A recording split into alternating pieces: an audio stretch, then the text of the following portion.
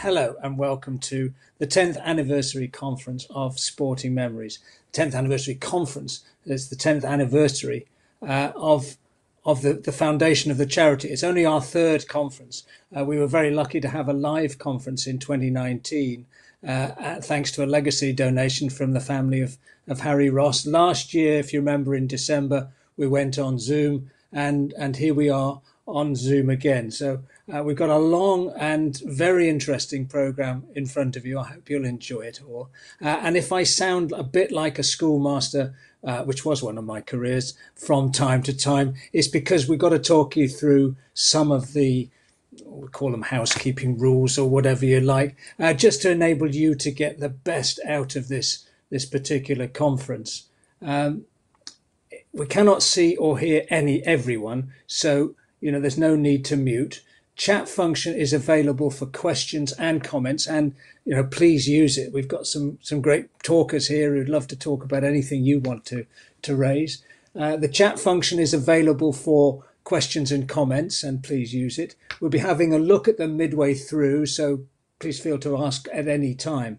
Um, as i said earlier this conference today marks a very special 10th anniversary because on october the 14th 2011 in the Whisky Society, the Scotch Malt Whisky Society in Edinburgh, this charity came into being with uh, our founders Chris Wilkins and Tony Jameson Allen uh, registering it in Companies House as a community interest company, followed by a charity commission a little while later. You might think it's an unusual place to register a charity, a, a whiskey company. Uh, and I suppose if we were being thoroughly uh, up to date and politically correct, I should say, remember to drink responsibly, do not serve alcohol to youngsters, and all that sort of thing. But like the whiskey, the Scott, the, the Sporting Memories Foundation has matured extremely well in the years. We'll be hearing a lot more about the key milestones over the last 10 years. And more importantly, we'll be looking ahead to the next 10 years too and finding out what plans are afoot for the, for the future. We'll be sharing some special memories from friends, partners, uh, and clubs, as well as a few celebrities throughout the morning. Here's one from Talksport presenter Faye Carruthers, and I've got to read this one out. Happy 10th birthday, Sporting Memories. Thank you for everything you do using the power of sport to tackle loneliness and isolation. Sport connects so many of us, and your work is crucial, making sure people feel part of something special. Here's to the next 10 years and beyond. Can't say fairer than that.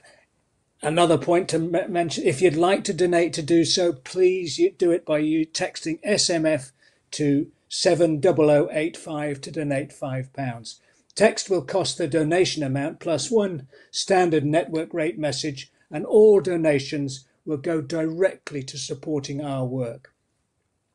The theme of today's conference is uniting people through sport, and it's something that's so special and embraced by us all at Sporting Memories because we fully understand the power and impact of talking about and participating in sport.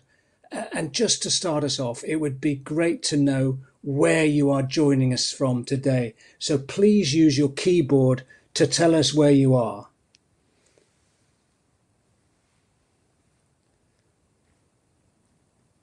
We'll be Mars, Mars, fair play, well done. That must be William Shatner. Edinburgh, York in England, and Leeds, UK so far.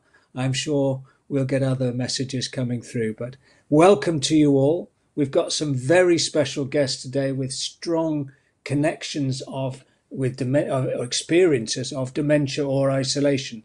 Uh, but Edinburgh's come up, Auckland, New Zealand. Wow, we're at Suffolk. Great stuff. We, we're joining more from Leeds. That's terrific. Uh,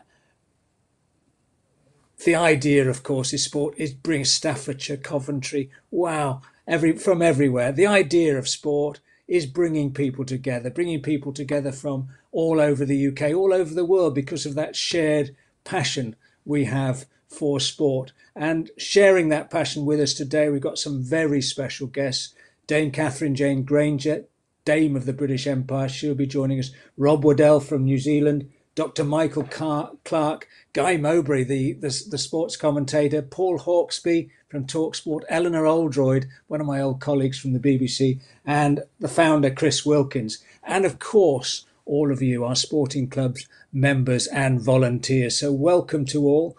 Uh, we've got a video message from the chairman of the Sporting Memories Foundation in England and Wales, Rory McCormick.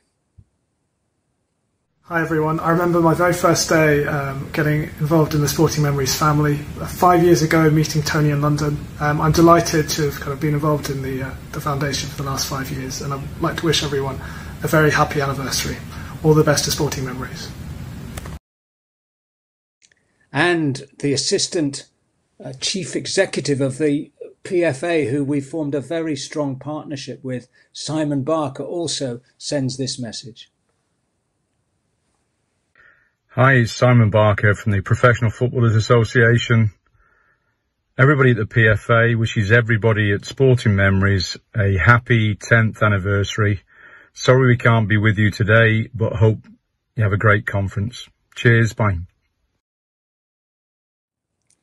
Yeah, as I mentioned, the PFA have, have embraced sporting memories with a, a special group for, for former players. And it's the formation of these groups around the country that that really matter and driving this this thing forward.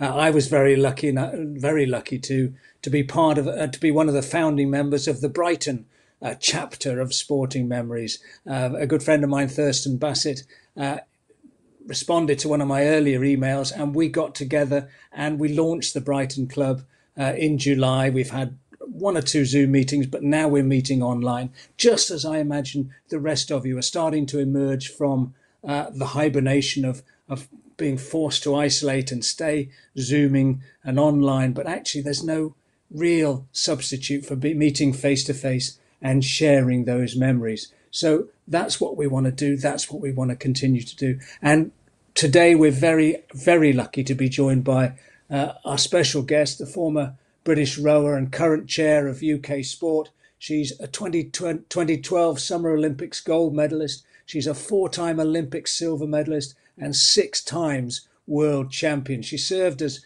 Chancellor of Brookes University between 2015 and 2020. She's currently Chancellor of Glasgow University. I'm delighted to introduce Dame Katherine Jane Grainger, DBE. Welcome, Katherine. Thank you so much for joining us and thank you so much for, for all your support in the past. It's great to see you.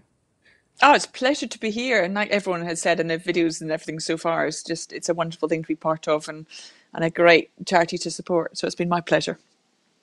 Thank you. And I was lucky enough to, to share a conversation with you uh, earlier this year, which I hope is now on the on the Sporting Memories website. And it was it was just a, a great pleasure uh, for me to share those memories with you of, of your sporting career. Uh, since then, though, you've been off to the Olympics and the Paralympics.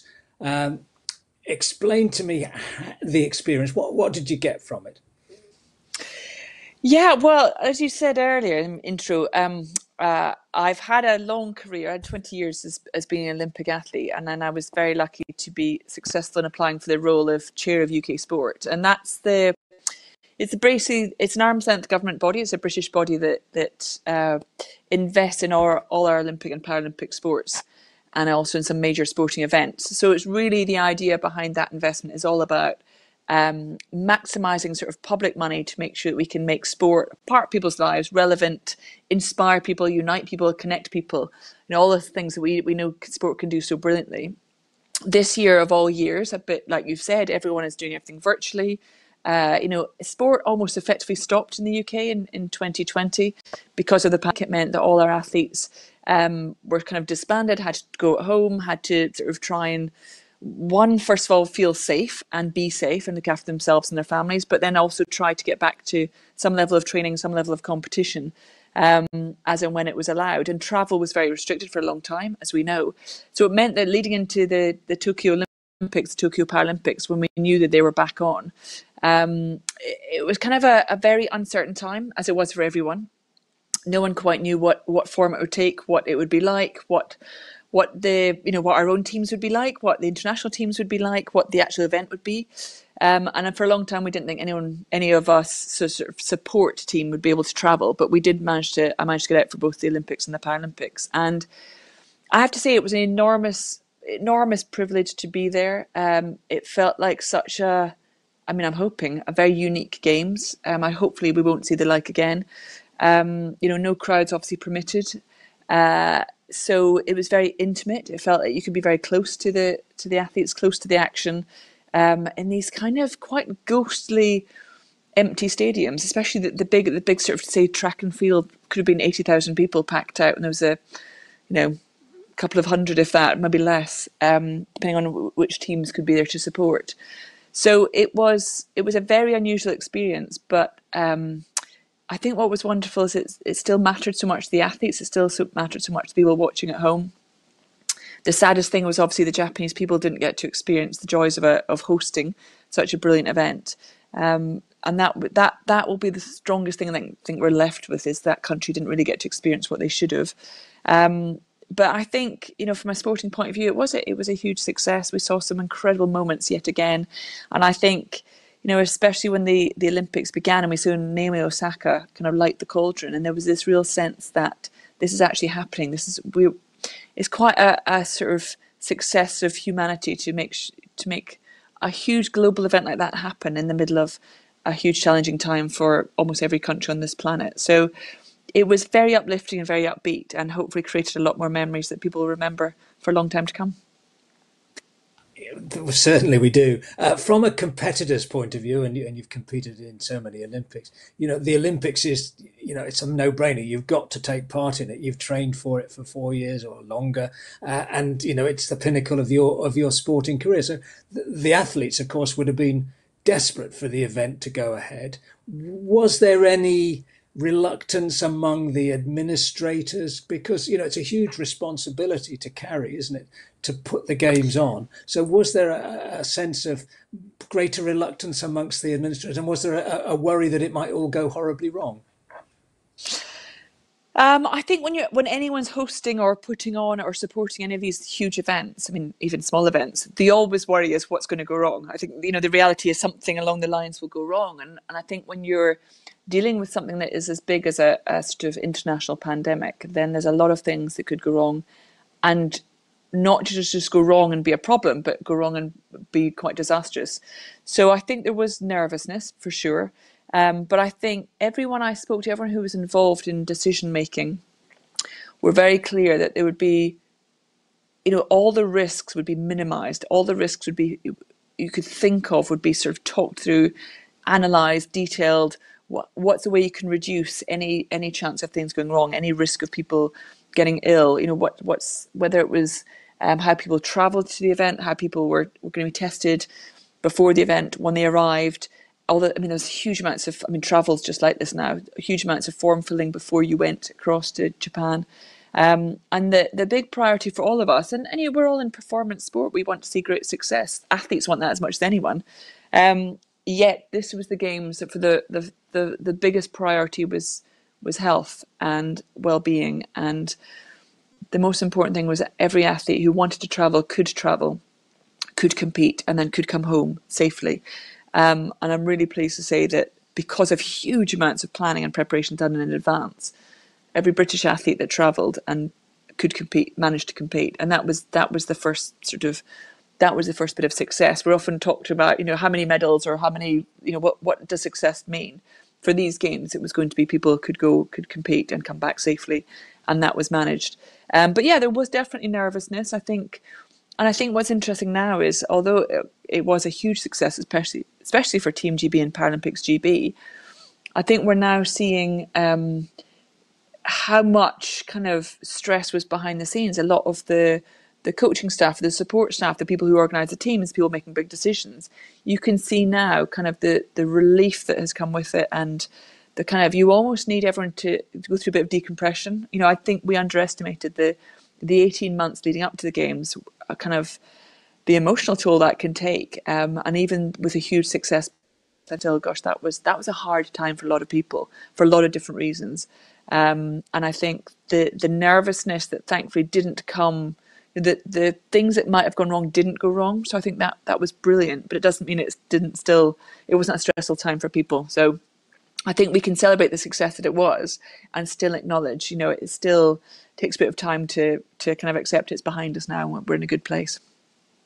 And the absence of crowds, you, you mentioned that from a competitor's point of view, in a way, it's like the purity of sport is that, you know, why you do it in the first place is to take part, to test yourself against your competitors. So in that sense, a crowd is necessary, but, you know, we're all used to big crowds and I'm sure you'll agree, competitors perform better when there's a crowd. Is is that how you saw it? Um, yeah, I think from an athlete point of view, when they made the decision, they did make the decision, you know, a few months before that there'd be no crowds. And the first the first level of decision making was there'd be no international crowds, there'd be no traveling crowds. So I think athletes find out quite early on that their friends and family wouldn't be there, and that's quite hard. You know, that is especially if you if you're an Olympic or Paralympic sport, once every four years you get the chance to be on on that sort of that platform, that that incredible event that is so special to us all. Um, and suddenly your family couldn't be there. The people who get you through every day and every you know all the all the moments that the public don't see when it's just hard and training is hard and competition is hard and selection is hard and you're it's often your family, your your close friends that will get you through those days and the lovely thing is to have them there when the big moment happens, and obviously that wasn't going to be allowed. Then the, the final step for Japan was to say that actually no, even no domestic crowds, even no Japanese supporters would be possible, and that's when it becomes very nation to accept they won't be part of this event either. Um, but I think speaking to the athletes that that from our team certainly, when it got closer, I think we all felt immensely sorry they wouldn't have the full games experience we're used to seeing. But there was a sense from all the athletes I spoke to that this will still be better than nothing because the next stage could have been the whole cancellation of the event. And I think when you have trained for four and now five years, because the extra year delay, the thought that it might go completely was possible and was was you know the kind of worst case scenario for most athletes. So yes, the the lack of crowds was a huge disappointment, but it was still better going in and competing in front of nobody than not competing at all. So I think the the athletes and, and I spoke to a lot of different international athletes there. The overwhelming sense was of gratitude that the, the, the event had gone ahead, that Japan was still willing to host and they could still compete. Um, so yes, the crowds are, is a huge it's just sad, you know, when you watch the clips and the videos and things, you, the, the, the crowd are so much part of that event, so much part of the atmosphere and the attitude and the spirit of those games. So not to see the packed out stadiums that were they were beautiful stadiums, beautiful venues, incredibly well sort of built and created and put together, and yet they were they will now remain empty, and that that's that's a real sadness that comes with part of what this summer was. Um, but the athletes still put on an incredible show even in the empty stadiums, and they missed the crowd, but they didn't need the crowd, which was incredible. And I think the most impressive thing for me was Japan as a nation did extraordinarily well in the Olympic Games. And we always sort of say the host nation does well because of the home crowds. And Japan sort of proved they they could have done even better with the home crowds, but they certainly didn't need it to put on a brilliant show. So that's something they should be very, very proud of. Uh, and another thing I, I felt was missing, which athletes can understand, I suppose, is the fraternization. We're, I, mean, I haven't taken part in an Olympics, but you know, when you play against other internationals and that sort of thing, you you share a bond with them, don't you? And you have lots of points of reference and things in common that you can share obviously, uh, you know, we, we hear tales of the Olympics village and so on, which, you know, sounds like a wonderful place to spend some time in with all of these great athletes around. That would have been denied this lot of, of athletes. How special is, is that as a, as a feeling when you're at Olympics?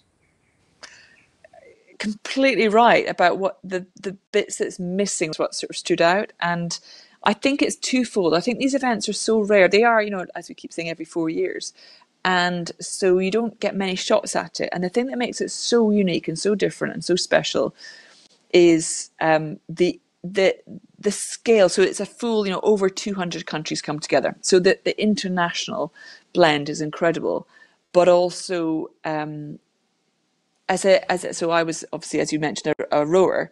You know, I'm used to being with the rowing team day in day out for months and years at at a time once every four years, you come together as part of Team GB and you become you know, one of many, many sports that, that link together at games time. And that feels very special and that feels very different. And that means, you know, you are connected by marching in the same kit behind the same flag. And suddenly you get to meet your own teammates from, but from all these different sports you might not normally get to speak and, and, and spend time with. So there's this mix of the sports mingling and meeting and, and sharing time together but also the every country in the nation sort of spending time together and mingling and and just sharing, sharing experiences and stories, and that makes it so so special. And the saddest thing was at these games, the international mixing was reduced to an absolute minimum. You know, only at competition time you couldn't spend time with other countries otherwise. And actually, even within your own team, you were you were restricted to the sort of the smallest bubble possible. So your own teammates, because it was also a real fear of you know if if anybody was to get a positive test, then it would mean a lot of people would, would be isolated because of any connection. So there was a real you know mix with as few people as possible, even from your own nation and even within your own sport. So you know that's a sadness. You know, as I said, the, the basic thing that had to go ahead was the competition was still important and that could happen and that was brilliant. And that was that going ahead meant it was still a success. But every extra bit that means it is as special as we all know it had to be stripped away for necessity, and that that's a bit sad. But I think, you know, I think athletes I've spoken to again who had been through it. I think they do. They do. Like I said, they they are very grateful it went ahead. They do feel they were part of a unique moment in history. Hopefully, it will not be the same when they go back and compete in Paris three years' time. And I think there's a real sense of the most overwhelming how many people want to go on to Paris to almost have a different games experience and, and to have experienced Tokyo and be even more appreciative of, of how lucky we are to be part of this world, part of sport in our life and and even when it's the most minimum type of Olympics and Paralympics, it's still phenomenally special. And I think the excitement now building to Paris will be huge because of that. That's brilliant. Um, we're doing our bit for sporting fraternisation. Um, by introducing by bringing in a special guest from New Zealand, who I, I know you know. Um, Rob Waddell is joining us, especially from New Zealand at a great late late time of the hour.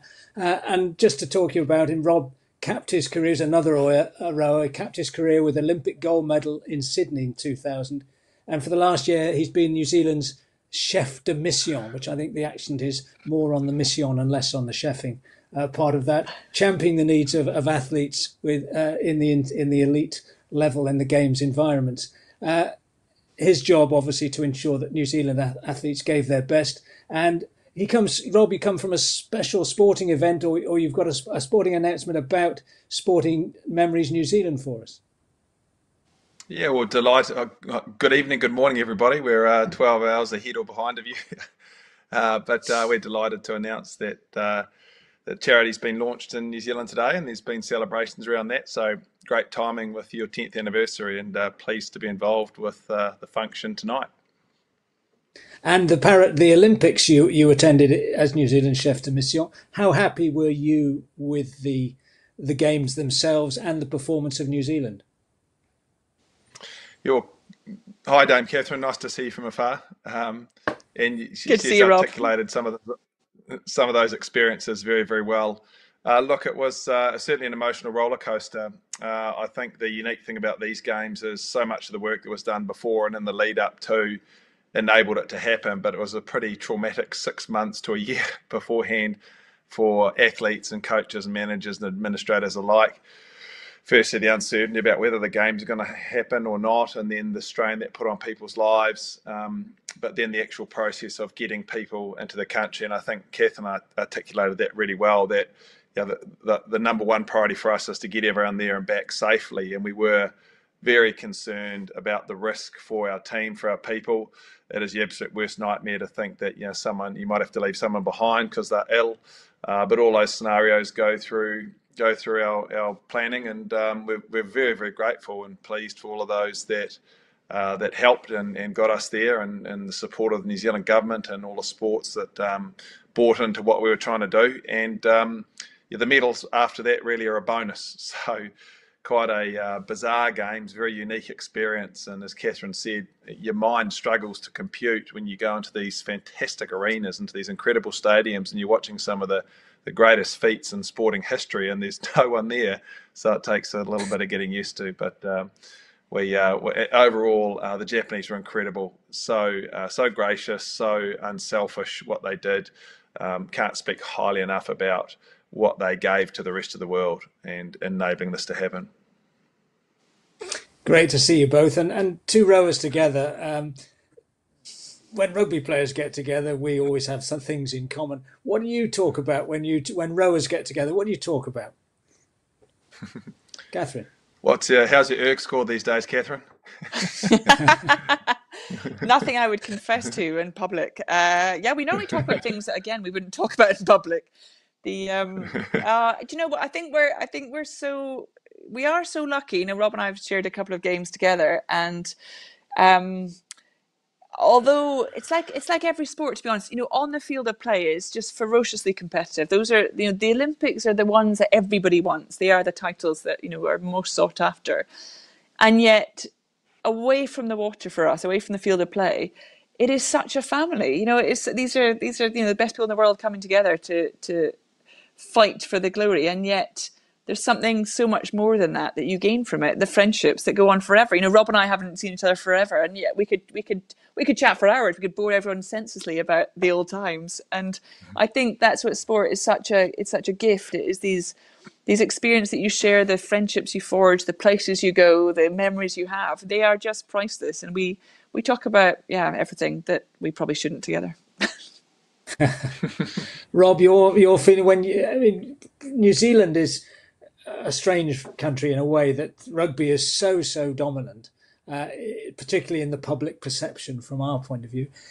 Do rowers feel part of that, or do, I mean, how do you relate to the rugby in New Zealand? Yeah, rugby is a very uh, dominant code uh, amongst our community. I think probably as much in participation um, and consumption as how you might look at the different sports. So from a consumption point of view, a lot of people watch rugby. It has a huge following. But as far as participation goes, you know, there's other sports that are, are right up there netball, basketball, um, volleyball, uh, water polo. These are all sports that are climbing through the ranks, partic- particularly at secondary school level. And I think it shows the diversity and the changing nature of our culture and all the, the different people and personalities that now make up New Zealand. So it's wonderful to see people active, whatever they're doing. And I think uh, right around the world, we face that challenge of how we get people engaged with sport. And uh, there's all sorts of positive initiatives that are happening in that space. Um, we look to the UK too for their leadership and some of the, the great things they've done to uh, help get their people uh, engaged in sport and participating. Um, but we, yeah, I think there's a real commonality there amongst what we all share together. We've always looked up and admired what the uh, what the GB or UK teams do when we're competing or training together. So, um, in terms of reminiscing and looking back on some of the, uh, the, the, the competitions we've been at together, those are pretty fond memories and um, lots of positive friendships made through those times.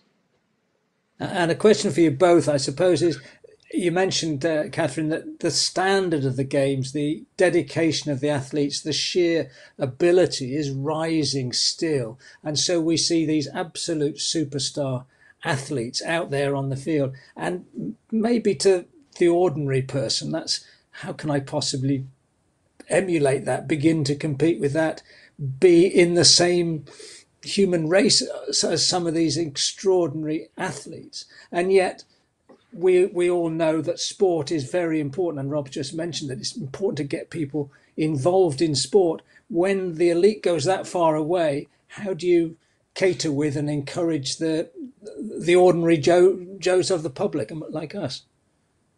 I think one of the lovely things is the you know Rob and I have both spent a lot of time in among this this sort of this high performing world. Um, and I, you know, I was the same when I was at school. When I was at, you know, growing up, you you had these incredible athletes on these incredible pedestals, and I think the most wonderful thing is when you spend time with them is they are they do absolutely extraordinary things. But most people, would, most elite athletes I know that are in the teams and have done incredible performances, would all, you know, are all. There's a real humility that comes with it. They really will point out all the things they're not very good at, and the things that they're, you know, they took a long time to get, and all the mm. all the times they've failed as much as succeeded. And I think. Um, you know, I think it is hard because I think we have this distance because it's it's like with any, you know, whether it's in in sport or in art or in different bits of culture, we we put people on huge pedestals because of exceptional performances that we see and think we're so different from that. But actually, they all started from nothing, and they all started things they're good at, things they're not good at, and there's a real there's a real humanity there that we don't always recognize in, in the right way. You know, we, we should, no one started off on day one of doing their sport thinking they'd be, you know, Olympic champion. And it's a long, long process to get there, which is brilliant. Now, that doesn't mean that everyone should then necessarily want to or sign up to aiming to try and get to be, become an Olympic champion. But if they want to, I'd recommend it. It's very good. But, you know, there's something that, that we've all, we've all got from our sport as well as the successes is as we've just talked about the friendships and the fun and the health aspect and you know i think we've really recognized during the last period of lockdown how just getting out and getting some fresh air getting some company is really good for our our well-being and ourselves as much as anything else so you know for the people who think gosh i could never do what they do because they're you know wonderful olympians well actually we get we get the same as everyone gets from it we get the same fun and enjoyment and and fresh air and, and health that other people do. And I think that's very accessible to everyone. And whether you want to go on and take on the world or whether you just want to go on and take on your neighbour, that's all good. Rob, same problems in New Zealand that the, the superstars are on a pedestal and the ordinary people say it's not for us. I don't. I don't get that impression having visited New Zealand. It's a very open air, can do, physically active active place from my experience. Uh, how do you find it do you find there's a difficulty in bridging that gap? Well, I think uh, when you when you've competed at the at the high level of Olympic Games, you do appreciate that it, it is uh, it is the same pressures and anxieties that you might normally expect. I think there's a perception that athletes have got some incredible way of dealing with all of this, and there's a magic wand out there. But the reality is, you're just as nervous and anxious as uh, as as you might expect. I think the difference obviously is you're you're in an environment where you're supported and helped, and you've got some really good training and processes in and around that. But uh, yeah, I think back for me personally, some of my most uh, satisfying achievements were in my earliest days of competing in the sport when I was at school, when I made the the top crew at my school for the first time, or when I pulled an erg score that I'd you know, for a goal or target that I'd set. So I think it's relative at any level, and no matter where you are in the in the hierarchy of sporting achievement, um, you can experience that same sense of joy, that same sense of satisfaction. I think it's something really wonderful about about sport that we um, that we all enjoy. It's uh, you don't have to be an Olympian. It's uh, something you can enjoy all the way through. And to your question before about New Zealand, I think New Zealanders generally are sport uh, fanatics. They do love sport. It's maybe something to do with our our small population size and our isolation that we're trying to prove to the rest of the world that we're we're worthy of being involved. Um, so we do tend to to fight pretty hard in that space. But the Olympics have been tremendously well received recently. And to your question about the All Blacks, yes, the All Blacks are very prolific. Uh, but equally, the Olympics get a lot of respect as well. And uh, you know, if events like that were happening, um, you know, week in week out, and uh, they happened every year, I think you'd probably find there was more recognition of those teams. But obviously, our world champs tend to be a bit further apart, and um, the Olympic Games every four years. But yeah, we we do love sport in our country, and it's a big part of uh, what we try and do and how our country comes together. Yeah, and it's all about get, encouraging as many people, whatever the age, whatever their uh, wherever they come from to get involved in in sport uh, uh, or at least in exercise. And that applies to, to many of our or sporting memories members you know who are towards the end of our lives and later older than we might be. Uh, exercise is still vitally important and, and i'm sure that's that's the message from both of you. But we have had a few questions from the audience and i hope if the magic of technology brings this up i can read them one from Kelly. Great news, New Zealand. Welcome officially to the Sporting Memories family. A message from Anonymous Dame Katherine. Great role model for young athletes. Inspirational. And a question for Katherine Who was your sporting hero that inspired you to get involved in sport? Gosh, it's a good question. I don't know if I had one, if I'm honest. Um, I remember when I was at school before I, I mean, I loved watching the Olympics. Um, growing up and but never never thought it would be me. I just really loved it. And then when I was at school, actually, I got really into martial arts, and um, And I, and I and my first my first one was probably Bruce Lee, who is a legend of martial arts. Um, but beyond, I think what I loved about him, and actually I probably grew more to appreciate it, was his understanding of. Um, as much as he wanted to have this incredible control of, of his physical body, which you do need to have in all sports, especially martial arts, but how important the mindset behind it is, how important, you know, being able to um, ha- have sort of not necessarily control, but understanding of the, your way of thinking and your what is possible through um, just this real belief in special things coming together, whether it's you know mind, body, physicality, and spirituality, and all the rest. And he had this incredible way of constant learning, constant picking up from all different from nature and from other sports and everything else. And I loved that sense of curiosity he had. So actually, he probably inspired me in more ways than I thought at the time. Um, and then when I got into my own sport in rowing at, at university, I was really lucky. The biggest superstars in the world at that point, with Steve Redgrave was in the team and Matthew Pinsent, and and I was my first games, which was in Sydney, which was where Rob was so successful, and they, those were incredible games um, to be part of because there just seemed so many real, real historic moments happening around the Sydney Games, and I was very very lucky to be in the opening ceremony, um, obviously marching with Team GB, when Cathy Freeman, you know, lit the cauldron in Sydney. And then I was the back in the stadium, you know, a week later when she competed in and won the 400 meter. Um, and it was she was such an icon of those games and so much pressure and expectation. A bit like Rob talked about that anxiety and nerves is there, however good you are she was absolutely the favourite to win, but she had this pressure of, you know, also being the person who could unite a, a divided nation in mm. Australia because she was an Aboriginal figure. So you know, there's so many.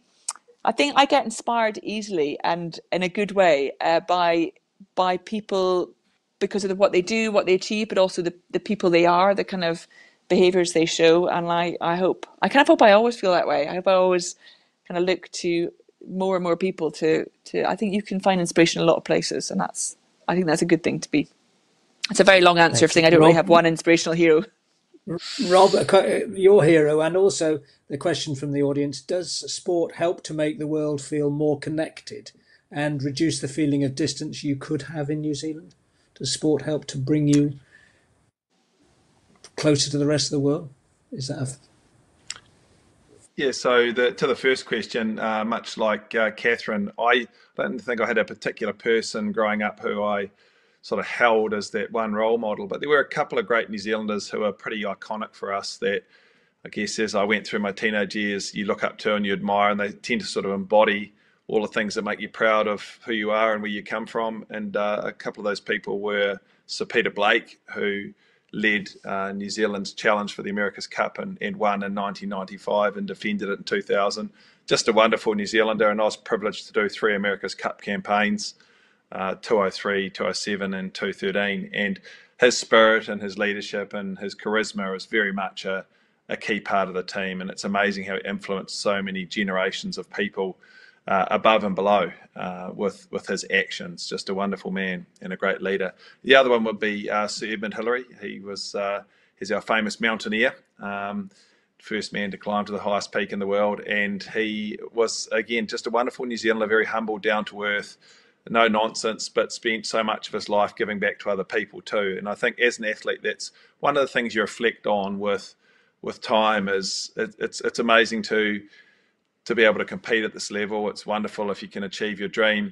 But I think most importantly, above all of that, it's it's who you are as a person that matters the most. How you treat other people, how you're respected by your peers, the integrity of what you bring forward.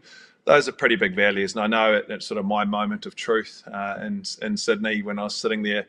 When you're half an hour before the Olympic final, you know it's one thing to be in Olympic final; it's another thing to sit there and know you're actually capable of winning it and I always uh, reflect on thinking, yeah, what was important above everything else was that I was just a good person and trying to be a good person and trying just to aspire some good basic values in life because those are things that define us. We have these these highs and lows in life, but inevitably uh, the person you are and the values you hold is a pretty big part of um, of what we aspire to. I think for most of us. So so that's uh, answer the first question. The second piece is there is does the world make you does the world become more connected through sport and reduce the feeling of distance? Well, we can never get round it. It's always two days travel for everyone to come and visit us in New Zealand. So it's not like you can say why don't we catch up on Friday and have a beer with mates in the UK? It's just a long way to come. I'm sorry about that, but uh, it's a great place to come. So please make sure you do come and join us. And I guess things like this technology enable us all to come closer. I guess sport is a universal language, right? Everyone speaks it. At some point in their life, everyone in the world has run or jumped or sprinted or thrown something. And so we can all identify with it no matter what age and stage. Um, so I think it's uh, it's something that we all um, share and, and something that we um, respect each other with too, and um, a commonality that goes throughout every nation, every culture in the world.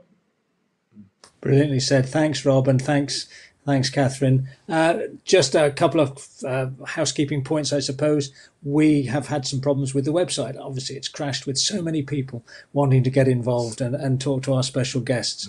Mm. Uh, also, Steps for Sporting Memories. Uh, that's very important thing. Katherine Grainger involved in that as well. Uh, we're delighted to new, to launch a new route called in the series called Steps for Sporting Memories, which is in partnership with the charity which is called World Walking. The route is called Steps of Sporting Memories UK Female Sporting Greats. And the participants in our walks can reminisce while they stay active and what we talked about, find out more about some of the great British sportswomen from the UK, names such as Mary Peters, Virginia Wade, Nicola Adams, Tanni Grey Thompson, Princess Royal, Prince, uh, Princess Anne, and of course Dame Katherine Grainger, who's been given a sporting milestone as well as part of this virtual route. So do join Sporting Memories. It's a great way of meeting up with other people, walking along those, and just thinking about these great, inspiring sports people who have really set us up along there and given us so much joy and pleasure. The free activity can be done in home, in your home, or if, if someone has limited mobility. Everyone can contribute, whether you're part of as an individual or a family or group of friends at a club. There are over two and a half million steps uh, collected to put towards steps for sporting memories, UK sporting greats, female sporting greats. So remember, every step counts as a message that's been mentioned by Rob and by Katherine. Every step counts. Activity is vital. Every step counts to a healthier lifestyle, and you can get more information about this event after today. Uh, thanks very much indeed to Katherine and Rob, and we're going to move on to the next bit of our conference.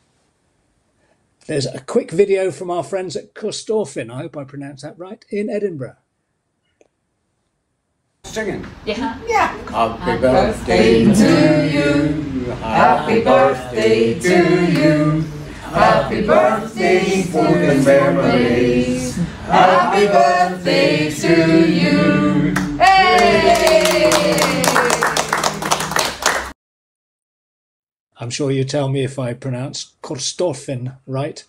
Always get Scottish name. No, I don't always get them wrong. Our next guest, Dr. Michael Clark, is an Associate Professional Research Fellow with the Care Policy and Evaluation Centre at the London School of Economics. I've had to read that out, I couldn't memorise it. He's worked at local, regional, and national levels, undertaking and managing research. The research interests include social care, dementia care, mental health, public involvement in research, and arts and other social activities and their place in care.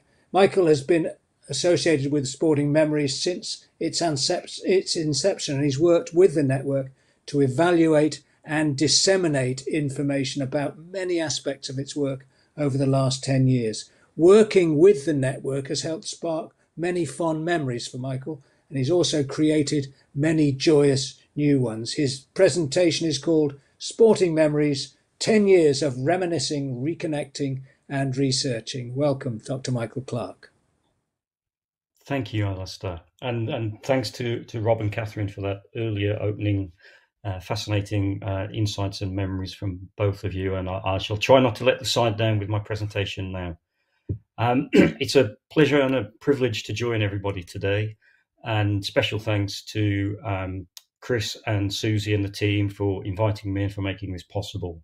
So hopefully the technology now works. There we go. it's um, it, it's also a, an absolute privilege to be presenting in this slot, celebrating the, the contribution of Norrie Gallagher to the the life of the Sporting Memories Network from its inception, the the ideas, the philosophy, and particularly the energy of Norrie were, were amazing in getting the momentum going for the network and, and helping to develop sporting memories as an idea. And I, I gather that uh, his his ideas and he, his founding principles for the network are still really fundamental to the work of the network. So I'm not sure if you're out there listening, Norrie, but um, thank you from everyone involved in the network for your contribution over the 10 years. and 10 years, I, when Chris said to me about coming and talking today at the 10 year conference, uh, I just couldn't believe it. It, it. I couldn't believe that it was 10 years ago that uh, Chris and Tony were um, sitting talking to me and said, We've got this little idea and we're thinking about doing this thing using sporting memories to help unite people. And I just thought, wow, that, that's fantastic. I can't believe that you know, it, it's not already being done widely. And um, I just said, yes, great, I'm on board. And they asked me to be involved in the network and particularly to help with thinking about research and evaluation of their work. So, what I want to do in, in the next few minutes is just spend a little bit of time talking about the, the work of the network in terms of reminiscing, reconnecting people, and also researching and learning the lessons from what they're doing. But also, if you'll indulge me, a little reminiscing myself about work with the network. and I'm just reminded that uh, you know very often it's the it's the simple ideas that are the most powerful. and in the course of preparing this presentation today, I heard this quotation from um, somebody on, on the radio, and I just thought, oh, this this just seems so appropriate to this presentation and the work of the network. And it's from uh, somebody called Victor Borge, who I, I, had to look up, I have to confess, uh, but he's an American comedian. And he said, Laughter is the shortest distance between two people. And I just thought that that is just so appropriate for today. Um, sporting memories as a means of bringing people together to have fun, to laugh together, and connecting people. And as I say, just such a simple idea but so so powerful in its impact. and right from the start, this was more than just a, a passing interest from from me. Uh, many of you uh, may recognise this character here, Jeff Astle, the King, as his nickname goes. And he was a, a, player for West Bromwich Albion and England. And West Bromwich Albion is the team that I support. And Jeff sadly died in 2002 and he had dementia. And from that time, his family have been strong campaigners for better understanding the, the impact of heading the ball and potentially causing dementia in later life. And of course, that, that concern has grown more and more in terms of head injuries in other sports and so, I, right from the start, I, I had a, a, very strong interest in this connection between sport and, and Jeff Astle in particular and dementia. And when Chris asked me to, to do this talk, one of the first things I did was just to, to look at the, the website of the Sporting Memories Network. and I just could not believe, uh, even though I've been connected with the network, it was still amazing to see the evidence of how this fledgling idea has taken flight over 10 years from a, a really small website that did have a, a, small memory from myself on there uh, and one or two other people that were early uh, supporters of the network to now the, the, a phenomenal range of sports. I've just taken some screen grabs there from the website. Uh, it grew from initial thoughts about particularly football but now spans the huge array of sports. And we were just hearing, of course, about the Olympics. So, not just individual sports, but uh, particular international sporting events. And of course, uh, Sporting Memories Network was involved with the uh, Commonwealth Games in, in, Scotland a few years ago. and also, then, when you look within any individual sport, the fantastic array of clubs that now have memories shared on the website as a resource for everyone to, to use and, and help connect with others. And then looking again on the website across the country, there are, to use uh, the, the metaphor, there are pitches everywhere now on which people can come together and and join in this reconnecting and reminiscing about sport. So it's just absolutely phenomenal to see how much the, the, the idea has grown in 10 years. and as I said right from the start, Chris and Tony asked me to be involved in trying to uh, evaluate some of the work that they'd done. And this, back in 2015, was the first paper that we produced together with somebody called Charlie Murphy, who was also involved in uh, supporting the network and de- delivering training. Uh, and in this, we, we looked at the lessons from the first few years of the Sporting Memories Network. And in particular, we set out the challenges around uh, people feeling potentially lonely and isolated, and how depression and dementia can contribute to people becoming a, a little bit disconnected from their friends, their families, their communities, and from the, the, the sporting events that perhaps they've been involved in in much of their lives. And so, this idea of people having an opportunity to reminisce and to reconnect with family and friends was was very evident in the, the early evidence that we were pulling together. then one of the, uh, the the next things that we did was a project looking at developing sporting memories groups within care homes, and in particular, we we were interested here in in the fact that um, a lot of men in care homes might feel a little bit isolated if the um, it, often they're in the minority. Uh, ladies tend to live a little bit longer, uh, but also that they might feel a little bit disconnected from again the, the things that they've enjoyed much of their lives and a bit isolated in these care homes. And we we did some work with a group of care homes across Leeds that were looking to develop sporting memories groups. And this was a, this is a particularly fond memory for me doing this piece of work because I had the opportunity to participate in some of the sporting memories training that was delivered to some of the, the staff in these care homes. And here I was sitting in, in a room in Leeds with a, a group of staff that I had no previous connection with. And within a few minutes of being given some material about sporting memories, photographs, and so on, uh, there we were just having conversations and, and just connecting together and having a bit of fun within a few minutes of meeting. And I think one of the, the lessons from this was also that sporting memories is, is not necessarily just about specific clubs or individuals. It's often a, a matter of social history. Even some of the people in that room that weren't especially interested in sports were, were able to, to talk and reminisce about sporting memories from school days, going to the, the swimming pool for swimming lessons and trying to sneak uh, snacks out of the vending machines. I remember somebody talking about.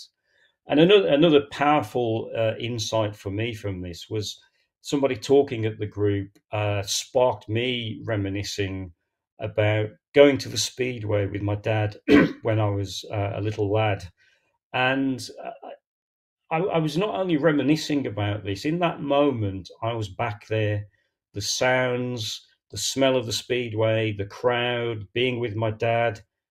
I was back there, and that was just so, so powerful and such an insight to me about how sporting memories can be so powerful and beneficial to people. But one of the, the, the, challenges of working with Chris and the team is that they don't stand still. I think that's great. Uh, but it can be difficult when they say, Yeah, that's great, that's great. We've done the stuff on care homes. But now, now, now we're thinking about intergenerational work and we're working in community sporting groups uh, to, to look at bringing youngsters and older generations that are linked to the clubs together. Can you do some work with us on that? And this this was a, another whole new area for me, so I had to go away and uh, learn quite a bit about intergenerational working and what was known about that. But again, it was just fantastic to to see how this this initially simple idea about bringing people together can spin off in so many powerful ways, so many interesting innovations. And this idea of bringing youngsters together to connect with with older members of the clubs was fantastic. And and some of the, the lessons that we learned from this have gone on to inform uh, the way that clubs now work with with different generations in their their clubs to to use sporting memories to help inspire the youngsters and to reconnect uh, the older members of the club back with the club and with with some of the younger members of the club. So again, just uh, fantastic insights into the power of sporting memories. and then, of course, most recently, the pandemic came along, and Sporting Memories, true to its spirit, uh, was looking to how can we continue to innovate? What can Sporting Memories do to respond? And this idea of doing online groups quickly emerged rather than closing everything down because face to face meetings were not possible. The Sporting Memories Foundation thought, can we pull together something to support people by doing online groups.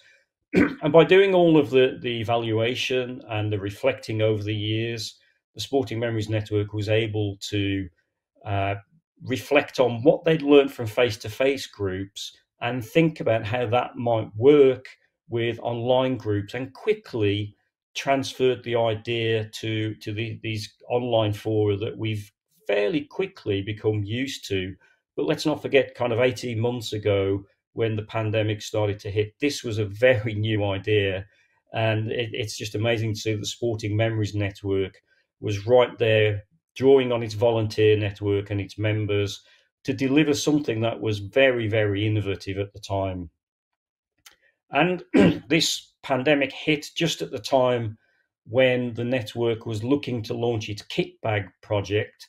So this was an idea that fit, helping uh, using sporting memories to also uh, help people to be more physically active has always been an important part of the the concept. And I know in, in care homes, for instance, people have done um, um, chair yoga and uh, uh carpet bowls alongside the sporting memories activities. and the kit bag idea was could you produce something that um, went, went to, uh, would support people in their homes and in community groups to be more physically active through their participation in sporting memories groups. So around the time of the pandemic, this was obviously uh, a, a, bit of a challenge, but again, Sporting Memories Network rose to it. They did a pilot project. They discussed the idea with volunteers and participants, and eventually did launch the kit bag, which you can see the, the photo in the bottom left there. The kit bag is a, a series of, of written resources, so um, a, a, exercise book and um, uh, some of the sporting pings, but also some physical things to help people exercise a ball, uh, a squeezy ball to help people develop their grip, and, and also a, an elasticated band to help people do stretches. And the project was successfully launched, and in discussion with the network, um, the, the network also put together a booklet that goes in the pack, and you can see a little screenshot on the right there, which is um, a logbook of people's experience of going through the week's activities with the kit bag and looking at how active they've been, what exercises they've done using the kit, but also what exercises they've done uh, in, in the rest of their lives.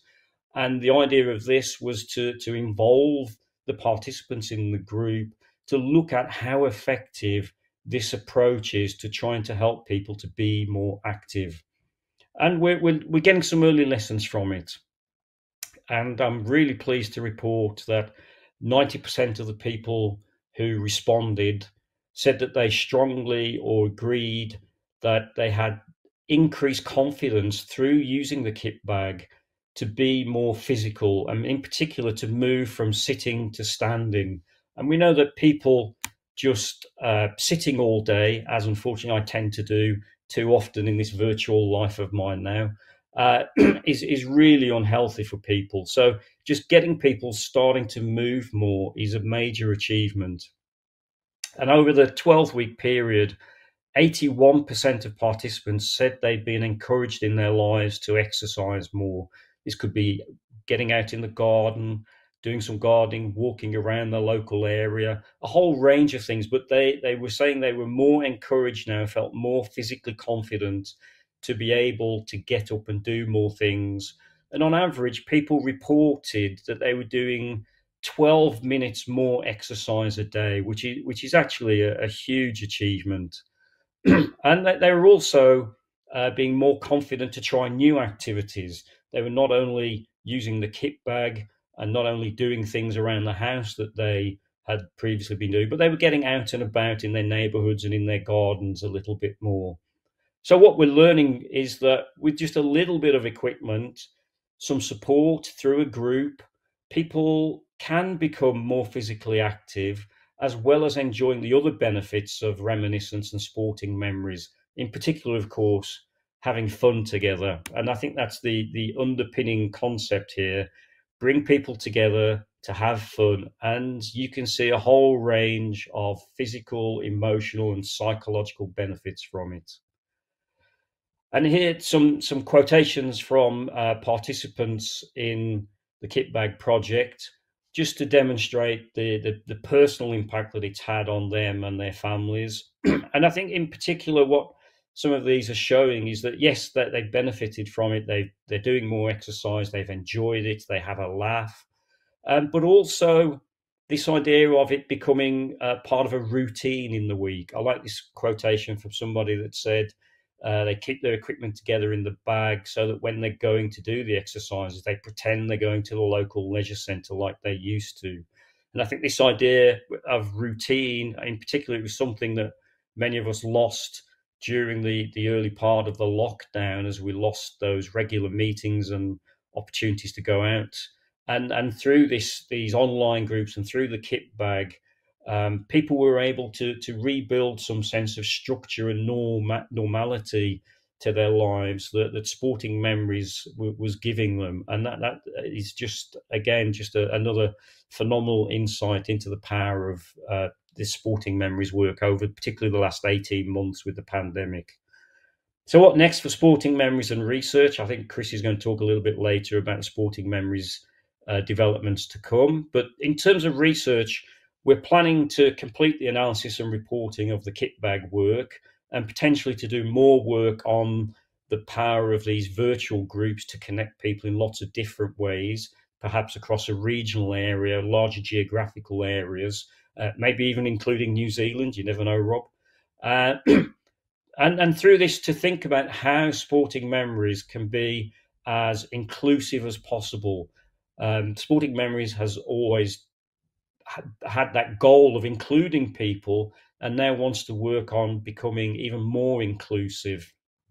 And in particular, what we want to do is to continue to work together to co produce the research, to continue to learn together. Each of the papers I mentioned there wasn't just written by me, it involved people that are involved in the network. And that's one of the, the, the fundamental things that we've tried to do through the evaluation work is to produce the work together to bring the lessons and, and the experience together. And one of the things we want to try to do is to build on the kit bag work, to build a, citizen science approach to this. So, citizen science is that idea of involving members of the public much more in, in directing and participating in, in research. And one of the things we'd like to do is to use that citizen science approach that we've started to develop with the kit bag work to develop more evaluation of the Sporting Memories Network. So hopefully, some of you listening today will get more of a chance to be part of that citizen science approach. So, in conclusion, what, what am I drawing from 10 years of making a difference through reminiscence, reconnecting, and research? I've got here some lessons. I think they're, they're directed to all of us as much as to uh, Sporting Memories Network itself. Keep innovating and active, don't stand still.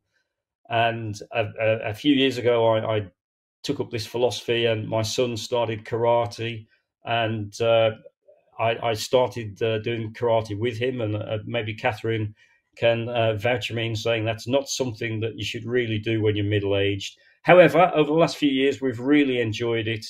And uh, he particularly enjoys it now that he gets to kick the stuffing out of me every week. Uh, but we're, we're making memories, we're being active, and we're making memories together And I'm sure over the, the, the next few years, he'll continue to have fun attacking me and we'll, we'll fondly remember those things in the years to come. Um, but I think all of us, we need to keep connecting, keep discussing things, and keep having fun. And so, sporting memories, thanks for today, but also thanks for all the memories over 10 years. Congratulations with all that you've achieved, and here's to the next 10 years. Thank you, everyone. And thank you, Michael. Uh, I hope you'll stay around to answer some of the questions because that is what we're opening up the the floor for now. People will get the chance now to uh, write in their questions. We've got one or two little snippets before that, but if we can have your questions coming in now, that would be uh, be terrific. We'll use the chat facility, please, to write down any questions you have, and they'll be coming after we've spoken to Chris Wilkins, our founder. But before all of that, we've got another lovely video, this time from one of our charity partners, Dr. Judith Gates from Head for Change.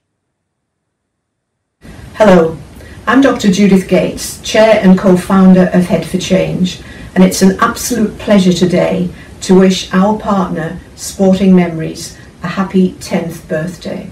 We're thrilled to partner with Sporting Memories because we know the great work that they do with footballing families as well as other sporting families, with the groups that they hold and the value that that has for the family members and the players involved. Happy birthday. Great stuff. And never a truer word cooperating, collaborating, using each other's expertise is so important. I've been involved in a couple of charities where you get charity wars between, you know, two MS groups, for instance, fighting over territory when actually all you want is for people with MS to, to feel better. And the same thing has to apply to, to all the charities who, who want so much for people with dementia and isolation and loneliness and depression to have better lives and to use sport uh, for that benefit. We have, I think, received some questions from the audience. So I'm going to ask Drew if he can put a, few, a selection of those uh, up so we can see. No, the questions will actually be coming after we've we've spoken to Chris Wilkins, our founder. So in the meantime, uh, we'll have another video from Hayley McQueen, who is the Sky Sports presenter and daughter of the footballing legend many of us remember, Gordon McQueen, and she has a special message. Hi there at Sporting Memories, wishing you a very happy birthday from this lineup at Sky Sports. How about that? Yeah, thank you so much for all that you do tackling, I guess, loneliness, dementia, Alzheimer's, everything that you do because, yeah, just watching back, reading back, old archive footage is great, keeps the mind working, doesn't it? I particularly like looking back at football from the 90s when I really got into the game. Um, but yeah, keep doing the work you're doing, keep following Sporting Memories on Twitter and wishing you a very happy birthday. Thanks, Hayley. We've already mentioned that today is a special milestone, the 10th anniversary, a great reason to celebrate, and one that is worth noting. And we've got a special report here from a Sporting Memories patron and top football commentator and top bloke, Guy Mowbray. He's got a match report of the key events and milestones from the past 10 years of Sporting Memories. Landmark moment as Sporting Memories hits 10. The team and supporters of Sporting Memories are celebrating after racking up 10 years of tackling dementia, depression, and loneliness through the power of sport. It's put them in a great position to push on further, with the supporter base only likely to increase thanks to a terrific team effort based on hard work allied to a brilliant creative performance. 2011 12 the first goal. Founders and dynamos behind the project, Tony Jameson Allen and Chris Wilkins, got the ball rolling swiftly straight from kickoff. Sporting Memories made no apologies for going Route 1 immediately, launching simultaneously in England and Scotland. The first community club and care home project then quickly opened up, with great reading of it all and the inaugural Memories match through the Sporting Pink, now being distributed all over the field weekly. 2012 13, 2 0, and taking a hold. Sporting Memories was now getting established and took the road to gathering more support with the Sporting Memories Foundation becoming a registered charity and with the well known web strategy being put to innovative new use. It was the start of the Replay Memories website. 2013 14, 3 0, with the eyes of the world taking notice. The third year brought recognition for such a powerful early performance. Sporting Memories were overall national winners of the Alzheimer's Society's first dementia friendly community awards. The team was also staking a claim for international recognition with projects around the 2014 Commonwealth Games and the Grand Depart of the Tour de France. 2014 15, 4 0, consolidation, and the next step. Despite performing with such control and energy, Sporting Memories knew that even a great team gets left behind when it stands still. So it was time to make the next positive move with the launch of the Replay Reminiscence app. This was about really looking to the future, so the intergenerational website Spirit of the Games also came about. 2015 16, 5 0, a huge moment. This was the point when several new gears were found with the introduction of a new player. Getting Reuters on board led to the donation of 90,000 sporting images to really take the project to new levels. A magnificent assist that was richly appreciated by the supporters. News quickly spread too, as Sporting Memories featured in the BBC Five Live documentary Dementia and the Power of Sport. 2016 17 it's six. Shearer! The BBC's contribution to spreading the message increased as star pundit and former England captain Alan Shearer visited a Sporting Memories club as part of his superb BBC One documentary, Dementia, Football and Me. The energy in the whole team display was only increasing by now, with the first virtual walk taking place and the start of a new digital pink service, which was soon reaching Australia. A perfect demonstration in how to play the long ball effectively.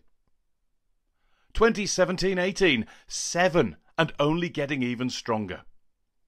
The seventh year was marked by the milestone of 100 community clubs being set up and running throughout the UK, and the launch of the dedicated Scottish charity, the Sporting Memories Foundation of Scotland. All those watching on rightly admired and applauded, including the Prime Minister, who gave those pioneering co founders Points of Light Awards recognising outstanding individuals making a positive change in their community. 2018 19, an incredible eighth. How do you improve on a century of clubs in the UK? By spreading the play as wide as possible, with the opening of the first two Sporting Memories clubs in Australia. And centuries were up for discussion at the first ever National Sporting Memories Conference, too, after the first social licence with Sussex Cricket Foundation was established. Surely time to go back to walking pace. Well, only kind of, with the kick-off of the first SM Walking Football Club.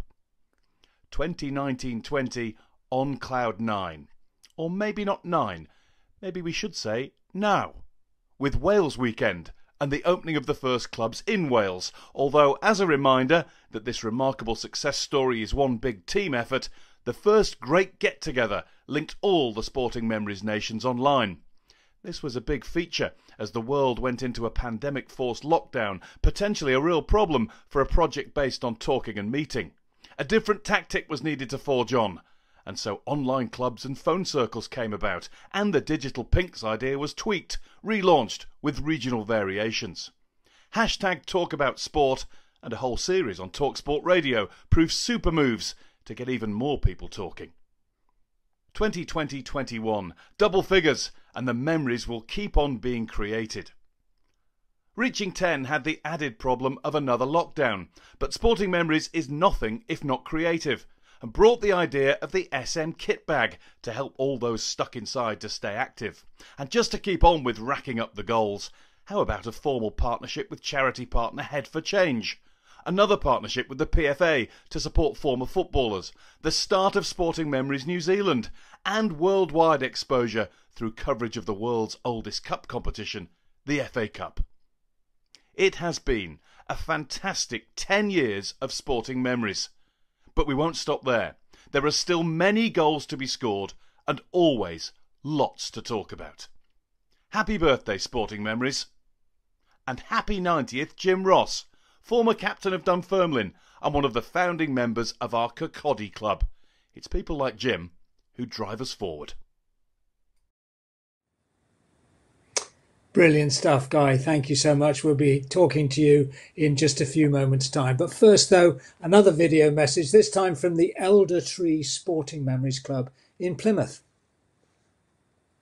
Happy, Happy birthday, birthday, Sporting Memories from Plymouth! Staying with the theme of uniting people through sport and reminiscing and talking about it, I'm delighted to be joined by some of the great broadcasters uh, and Sporting Memories patrons also. Guy Mowbray, of course, and Paul Hawksbee, and Eleanor Oldroyd, who's been a presenter and reporter for BBC Sport for 30 years. Eleanor began her career in local radio in the mid 1980s, covering county cricket for the Midlands at a time when females in the press box were virtually unknown. She joined BBC Radio Sport in 1991 and a year later went to her first Olympic Games, Barcelona 1992. Ellie has covered virtually every sport in that time, including working at 12 Olympic Games, but her first love, so we're told, is cricket. Good for you. Guy is an English football commentator who primarily appears on the BBC and BT Sport. While working for Eurosport at the 1998 World Cup, he became the youngest ever television commentator on a World Cup final aged just 26. Paul Hawksbee is a British radio sports radio presenter and comedy writer. He's presented the Hawksbee and Jacobs show alongside Andy Jacobs on Talk Sport since the station's inception in 2000. He's also contributed to the writing of ITV's Harry Hill's TV Burp and Al Murray's Happy Hour and the original Spitting Image. So, welcome to to all of you. And somebody asked, "What is the uh, what is the collective name for a bunch of commentators? And I think probably the answer is a chatter. But welcome to you all. And I suppose a, a vague question for all of you how did you get involved in sport? Let's start with you, Ellie. How did you, first of all, what, what made you think this is what I want to do? Well, first of all, hi, Alistair. It's really great to see you, and and uh, hello everybody as well. I, I, suppose really it was just growing up in a sports mad family. I've got two brothers, and my dad loved sport, and it was watching it on TV. It was listening to it on the radio. I can, I think that that you know the theme music for Out of the Blue is probably in my veins somewhere. That's the sports report theme tune, of course, for, for people who don't know, at five o'clock on a Saturday afternoon. But I was trying to remember what my my earliest sporting memory was, and it was probably the 1968 Olympic Games, um, which I remember watching on the TV at my grandparents' house. And, and then I remember the 1970 World Cup, just getting more involved each time and engaging more and more with, with sport and, and the love of sport. But yeah, I, I think it was always there. And, and when I was about 15, I thought if I could find somebody who would pay me to watch cricket all day, then that would be my dream job. And um, I'm not going to say how many years on, but quite a few years on, here I am. Brilliant stuff. Paul, how did you get involved? Uh, hi, Alison. Hi, everybody. It's great to be part of this today. Um, uh, I guess I'm thinking of my earliest sporting memory when I fully got into sport. I've got a vague recollection of the 66 World Cup final. I don't remember watching it. I just remember being about, I wasn't even four years old, going out and playing football in the street with my friends and lots of my relatives being incredibly happy and people in the area where I lived out in the street. And so I, I was kind of aware something big had happened.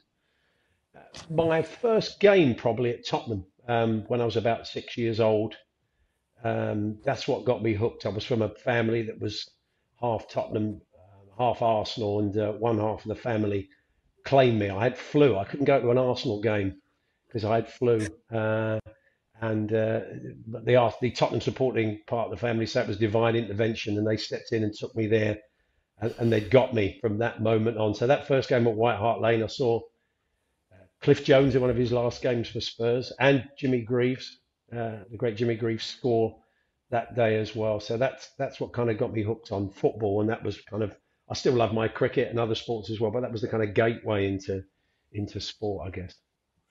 Guy. I, I didn't have any option whatsoever. I, I grew up in a, a detached house, a semi-detached house just outside York, which had a backdrop of a playing field where the local uh, cricket club and football teams played, and my bedroom overlooked that. And I basically spent every waking hour from dawn till dusk when I wasn't at school, um, playing football and cricket on that field, absolutely non-stop. We were kicked out of the house in the holidays at 9 a.m. and weren't allowed back in until some food was ready later on. And, and yeah, it's had the added negative effect on me actually. Of I hope no opposing bowlers are watching because I'm still trying to play cricket and um, I still can't play off my legs because we used to play with a hard ball on a normal, just you know, uncut pitch. It wasn't a pitch; it was just a strip of grass and um, no pads as a result, getting my legs out of the way became sort of a prime prime feature of my batting. So I'm still very strong with cover drives through the offside, but anything anything on my legs, and I'm absolutely toast. Um, but yeah, we, we, we played non-stop. My dad was a, a, PE teacher in his youth. He latterly taught other subjects as well. Um, and he had all sorts of stories and memories from from years gone by. He used to go to all the FA Cup finals when the FA used to distribute tickets to, to schools. So some lucky pupils would go with my dad and my mum as chaperone. Um, and one of the first stories actually I remember was my dad telling me about the 1956 FA Cup final that he was at, Manchester City against Birmingham, the famous one where Bert Trautmann broke his neck with about 15 minutes left to play, carried on playing, received his medal from the Queen um, I was about five years old, about 1977, when my dad told me this story, and my mum backed it up, saying she was behind the goal. All she could watch was Bert for the final 15 minutes, wandering about, rubbing his neck, all dazed and everything. And, and then the backstory to that German paratrooper, prisoner of war, St. Helens Town, the brilliant film being made recently called The Keeper, all about his life story. And, and that kind of that's boys' own stuff. That's Eagle, that's Shoot, that's Roy the Rovers, all rolled into one. Um, so, so that's been it. That's that's basically the story of why football is, has been my entire life from an early age. I can see you've got a Sunderland shirt behind you. I, we, we, talked about this earlier. It is a Sunderland uh, shirt. Uh, does that mean you're a Sunderland supporter? Uh, by default, I have a link with Sunderland. I covered every game for five seasons for local radio up there. Um, so I have a common link with the club, a lot of friends up there. Um, and, and, they were the Peter Reid days, which were fantastic because they were up, they were down, they were up, they were down. There, there were some great nights out as well, I have to admit. Um, but now that there's, a, there's another story to that shirt actually, because I've got that because that was a gift from the club. Um, because my wife was actually born that very day, the 5th of May, 1973, to a Leeds United supporting dad um, who obviously had a bit of a mixed day that day. Um, and, and, there's a little secret to that shirt because on the back and the other side of the frame, Eddie Gray has signed it um, to my father in law, apologising for, for, the result, but congratulating him on the better result that afternoon. Well, BBC reporters, of course, have to be completely unbiased, Ellie. So, did you um, have a team to? Were, you a, a supporter of the team, or did you always exercise this impartiality for which the BBC is so well known? Well, I, I, managed to have reasonable impartiality for quite a long time, um, but but my brother my brother was a big Birmingham City fan, my middle brother, and we used to go along. I used to take him, so probably in the kind of late seventies, early eighties, when it was not a particularly pleasant place to go. I mean, you can imagine that the the uh, the reputation that Birmingham City fans had in the in those days was was quite well deserved. Um, but um, but I used to go along with with him. Um, we'd, we'd get the train from Hereford, where we were living at the time, and you know hide our scarves away. But i, I never I, I, and then go to the game. And, and i and that was my first sort of real experience of top flight football actually back in the late 70s early 80s um, but i never really engaged to the, the extent that i thought well birmingham city are my team. And then i didn't have a team for years and, until i moved to london in 1989 and started going out with somebody who was a, obsessive Arsenal fan. So, you know, apologies, Paul. I, I did get claimed by Arsenal for, for, for, quite a number of years. So, so I was, I, I wasn't, I was there during the, that famous um, 88 89 season when they won the league on Merseyside, as I was repeating to a Liverpool taxi driver just last week. Um, yeah. And and then you know the, through the glory years, the George Graham years, then the Arsene Wenger years, which were just fantastic. And and I have to say that I've slightly dropped out of going to the Emirates these days, but but some of my f- fondest memories of going to Highbury. And actually, I'm I'm quite proud as well that my I've got two daughters. My elder daughter is a Leicester City fan because her, her dad is a passionate Leicester City fan.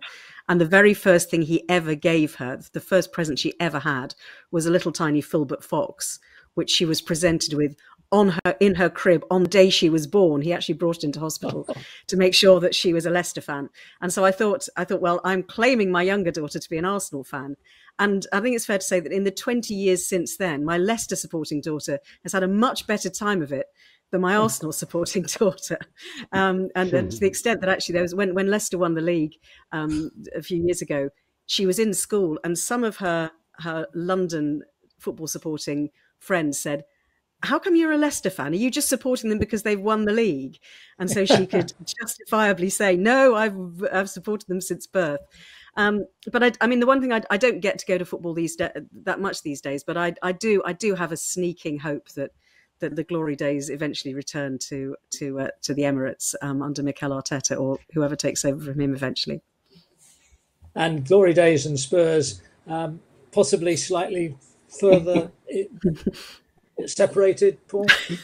Sorry, Paul. Yeah, it's it, it's it's been a while. It's been a while since. It's funny though. Just going back to what Ellie was saying there, is the sort of freewheeling nature of sporting memories groups. I guess that one conversation sparks a memory, and it just took me back to my birth of my first son, and um, it, it was just around the launch of the Premier League, and I went along to the press conference when they announced the Premier League, and they they kind of gave us some gifts, included this Mitre Premier League football. And I remember sort of taking it back and I think that would be the boy's first football. And he was, he didn't put a lot of weight on when he was first born. So I've got, I've still got this image of him and he's this picture. He's in this Tottenham sort of romper suit, uh, sitting up, this tiny little thing with this huge football next to him that's almost as big as him. So, sorry, it just completely came back to me as you were talking about uh, the film. The things we but do yeah, to our I mean, children. this is a yeah, that's right. It's a life sentence. Uh, it's, it's a beautiful can, deflection. I can beat you there, though. Means I don't have to talk about Tottenham being terrible. Okay, sorry. I can beat you there, Paul. I'm afraid. In, term, in, terms of abject misery, because I mean, the team that I, I was indoctrinated in very early is still languishing in National League North. It is a it is a, a, mini Newcastle United, only doesn't get the exposure. We are in desperate trouble. York City, uh, we're, we're, mm. awful. We're absolutely rubbish at the moment, and have been for many years. Off the field, it's a it's a complete disaster. On the field, the rare games that I get to go to, I find I have to self medicate with alcohol before watching the games because it's the only way you can get through them. But the, the, again, memories. Look at this. This is the first match that I, I remember going to 1979, a trip for my seventh birthday. Look at the number eight for York City there. Look who was number eight. Peter Lorimer. Peter Lorimer wow. playing wow. for York Lorimer, City. Lorimer. First memories of watching football was to see a great like that. Played in that game as well in '73, of course. Um, but a great like that, and and I, I, remember his rocket shots and the stories about them, and and so yeah, I was indoctrinated into following the. Uh, the disaster that is the Minster Men at a very early age. So when any Tottenham fans complain to me, or Arsenal fans, I, I just couldn't, I couldn't follow a, a, team at all. My my parent, my dad was in the RAF, and we got posted to places like Lincoln uh, or Cambridge, and I really tried hard to to go along. I went to a game at Sincil Bank. I went to one at the Abbey Stadium. My grandfather came from Torquay, so I went to a game at Plainmoor, uh, and I really couldn't find a team to be associated with. I did the hero worshipping of Man United in the 60s uh, when I was growing up, sort of 13 or 14, I suppose. Uh, and the only a champion, a, a top class football side was when we were stationed in Germany next to near a team called Borussia Mönchengladbach, which is very difficult to pronounce and awfully difficult to chant. So I never really got uh, totally involved in in football. I've been to watch Bristol City and Bristol Rovers. I've been accused of being a fan of each of them because when you work in the media in Bristol, yeah, you, are not allowed to be impartial. You, each side, each uh, each fan phones up and says, "You go, you are biased towards Bristol City. You were biased towards Bristol Rovers." Uh, you can't get around it. I'm sure you you find that that way as broadcasters, you can't actually stop being accused by the fans of being biased in one direction or another. Hmm.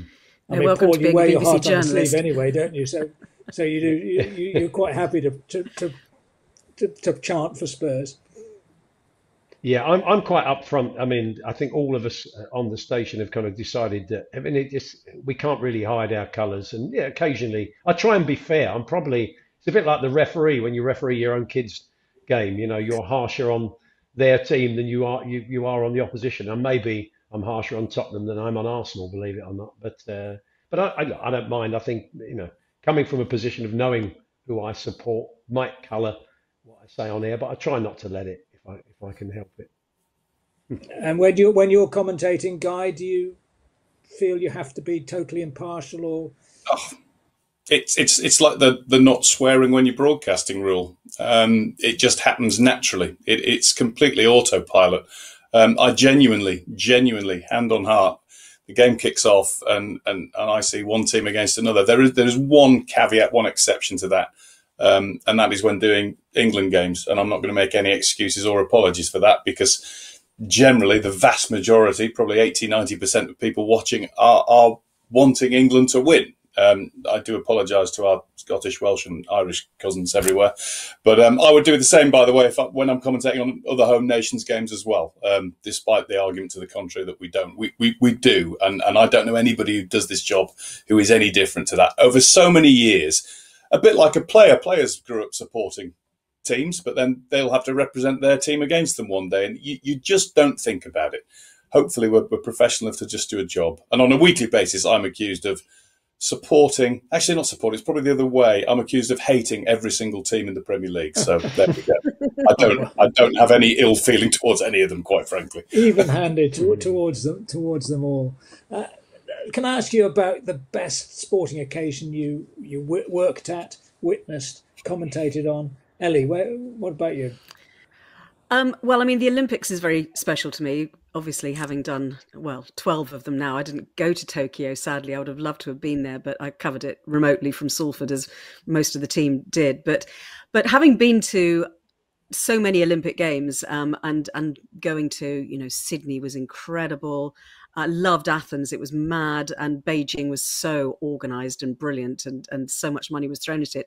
I loved London. London 2012 is is probably my favourite ever sporting occasion, partly because I knew how special it was going to be, and I'd said to people before, you know, because there was all the negative press in the build up to it, you know, that the transport wasn't going to work and the weather was going to be horrible and nobody was going to want to go, so the ticket sales were going to be hopeless and and then in the end they were they were too good too many people wanted to go um, but i but i wanted to take go, going back to my, my my girls i wanted to take my daughters along because i knew that when we in 20, in 2007 when we won the bid i knew that they would be 12 and 11 i kind of worked it out at that time and i thought this is the perfect age for them to get caught up in in sport so so that whole experience of, of doing an Olympic Games where everyone comes together and the sport is amazing. And if you've got tickets to the weightlifting or the water polo, it's as good as being in the Olympic Stadium because of the atmosphere that's created and that feeling of people fulfilling their lifetime dreams. That was amazing. But but then I suppose the other thing that that stands out, I mean, two things really from two summers ago, summer of 2019. So the World Cup final at Lords with Ben Stokes and Jofra Archer just being incredible. And then th- that final day at Headingley in, tw- in the Ashes, when Ben Stokes achieved probably the most astounding individual performance I have ever witnessed, particularly in a team sport as well. And I think he he won that test match by sheer force of will in lots of ways and just that sense of not wanting to be defeated by anything that was thrown at, at him. And and that partnership of 72 for the final wicket with Jack Leach who scored one. And all the drama that went into those those final overs was unforgettable. And and I just remember when they needed 11 more because it seemed like such a long way away when when there were nine wickets down. And and I thought it's not going to happen. It's not going to happen. We're going to be talking about an England defeat sometime in the next 20 minutes because your brain tells you that this is what's going to happen.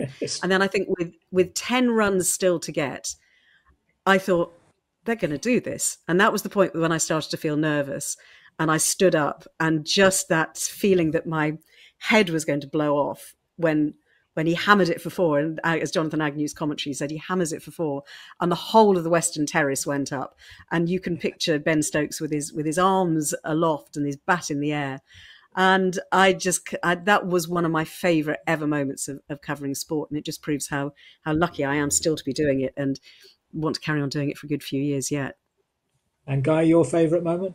So just just thinking about that, as soon as Eleanor started talking about it, it's one of those Yeah. classic "I remember where I was when" Mm. moments. I wasn't at the game, but I was. I was on holiday actually. I, I managed to squeeze a week early football season, and I was in Portugal, and I was watching it in a hotel bar. Now I think, and Paul can put me right on this. I think Spurs were playing at the same time as Ben Yeah, Stokes. I was about to say, Guy. I was. Well, yeah. They changed. We basically we there was a slight mutiny. We kept saying to everybody, turn the TVs over onto the cricket on the concourse because it was it was pre kickoff. And in the end, Daniel Levy heard and turned all the TVs over onto the cricket, and we were still on the concourse for about half an hour and watched it.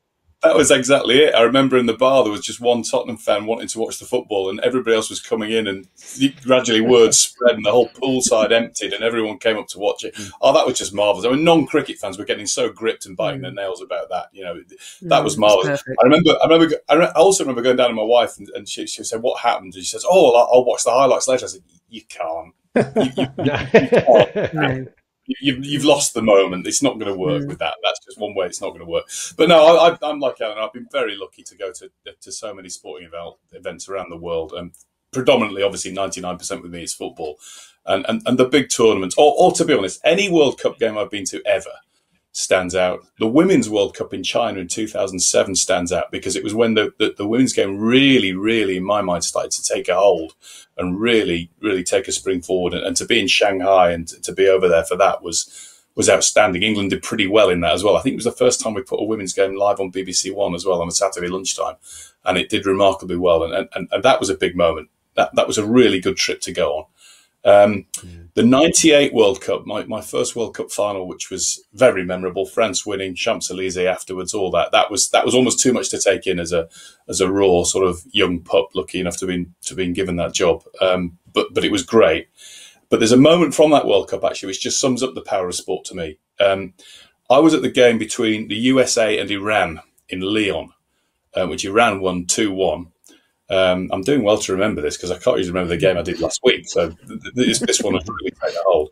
And again, it's it's what we've been talking about and why sporting memories is, is so essential in bringing it out of each other and bringing all these things back and making you, you know where you were when.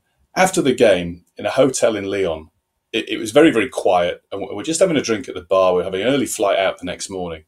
And I was with Trevor Steven, the ex Everton Rangers and England midfielder. And myself and Trevor were joined by an Iranian chap and his son who travelled over to watch the games. Uh, they were drinking the apple teas whilst we're having a, a, a nice Kronenbourg or a glass of claret or whatever. And then an American guy who was a, a qualified coach and PE teacher, and he'd come over on his own to watch the games. And over the next, well, until six o'clock in the morning, we didn't even go to bed. We just went straight to the airport and out. It, it- sort of three cultures combining over football. You know, the Iranian guys didn't speak much English. The Americans certainly didn't.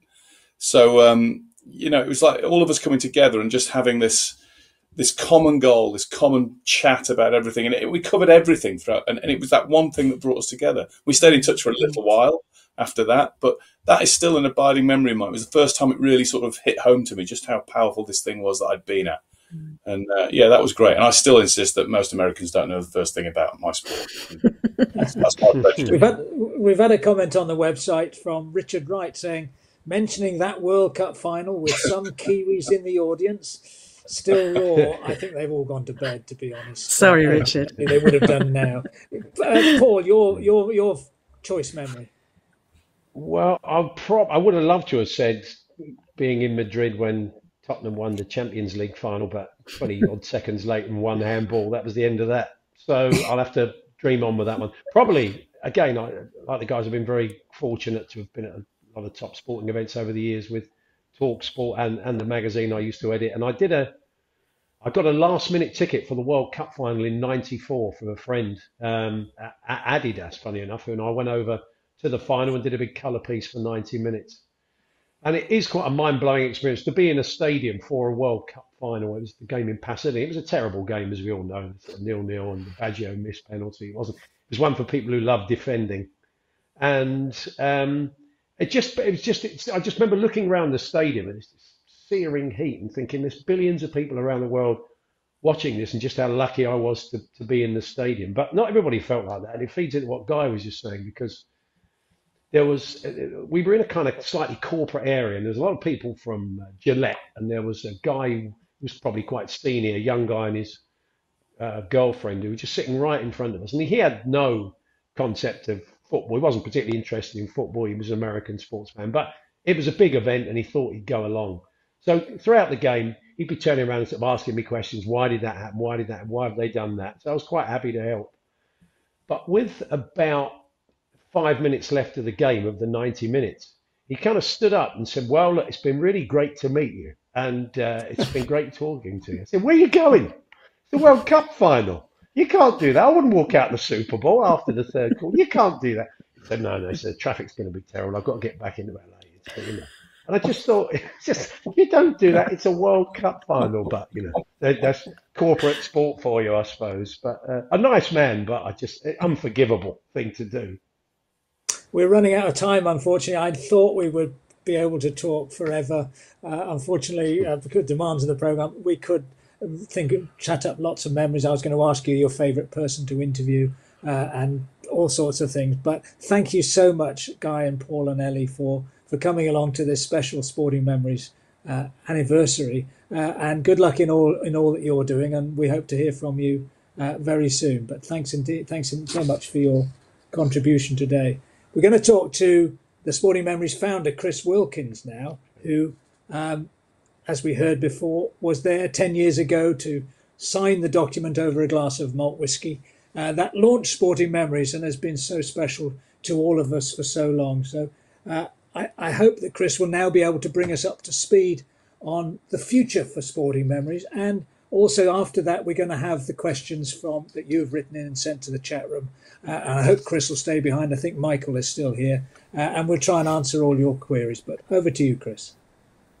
Hi alistair. No, no thanks for that. And I, I, just can't believe i've got to follow four professional broadcasters now so I'll, I'll do my best. But it's been fantastic so far, and you know that was just like a top class sporting memories group. Um, hearing their memories, that was that was fantastic, um, and it's been quite something looking back at all we've achieved over the last ten years. Um, but just before I share some of the plans um, of going forward, I would like to pay tribute to, to, our staff and volunteers who've supported our work along the way, and not least to my co-founder Tony, who has moved on to pastures new, but really we could not have got to where we have today without his energy and enthusiasm along the way. Um, but as we look forward, um, it, it, feels in many ways like we're still just beginning um, and looking ahead over the next 10 years. There's just so much more for us to do um, to make um, a bigger difference to the lives of more people. Um, but I, but if I summarize, I think there are four key areas for us going forward. the first um, is our ambition, and it's been this since day one, is is really to spread our activities as far as wide as we possibly can. Um, you know, there are there are several factors which which certainly are ubiquitous. You know, people's love of sport, and we've seen that today. You know, from New Zealand, first thing this morning, um, I was I was um, over, involved in the the launch over there, which was fantastic, um, and seeing Rob on today. Um, personal connections as well, and just how sport reaches across so many people and generations.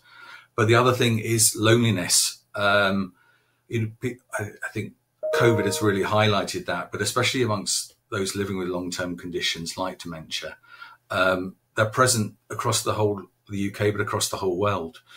Um, so our challenge has been how do we continue to spread what we're doing and in the last couple of years, we've developed a new social partnership model, uh, which we've developed as a way to empower other organisations to set up and deliver sporting memories activities in their own communities. And this has this has, and I think in the future will enable us to scale far more quickly while remaining sort of lean and agile ourselves. And we, and we are starting to be approached on a weekly basis by new organisations across the UK wanting to set up their own clubs and we hope that in 2022 we can establish a presence in Northern Ireland, for instance.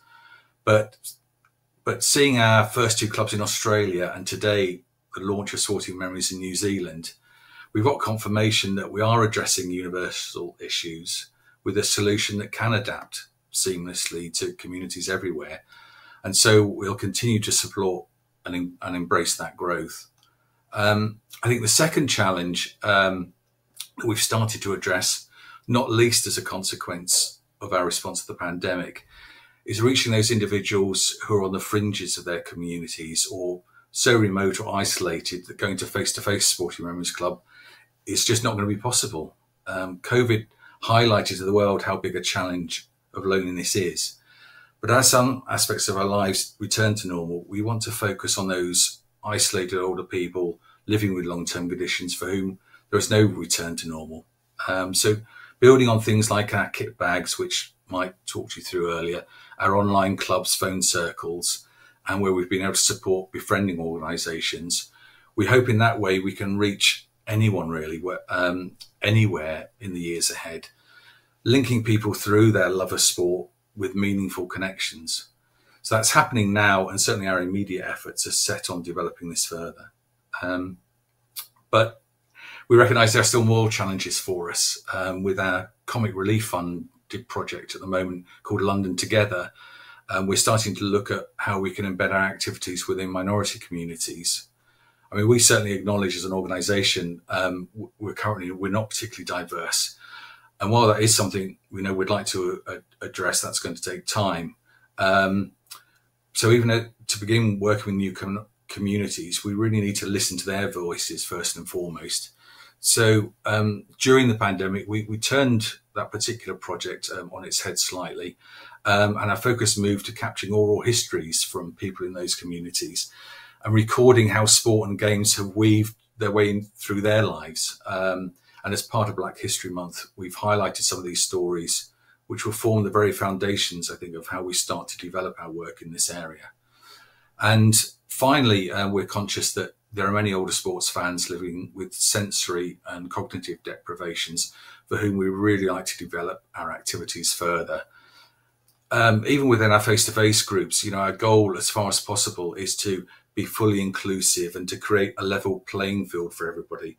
But um, you know, we we're looking to embrace technology, for example, to to take our first tentative steps to seeing how we can use new ways of working and innovation to really tackle um, some of those issues and, and involve people who might have sight impairments or hearing impairments and, and other issues to, to be fully involved in sporting memories. So they're big ambitions and it's going to take us um, um, many years to get there. So that's why I can see the next 10 years are, are going to be as busy as, as the last 10 years have been. Um, but we don't want these you know, the innovations, you know, certainly we don't want it to divert us from our core activities and supporting our members and carers um, and, and a wonderful team of volunteers going forward because without them, um, none of what we've done in the last year, 10 years would have been possible.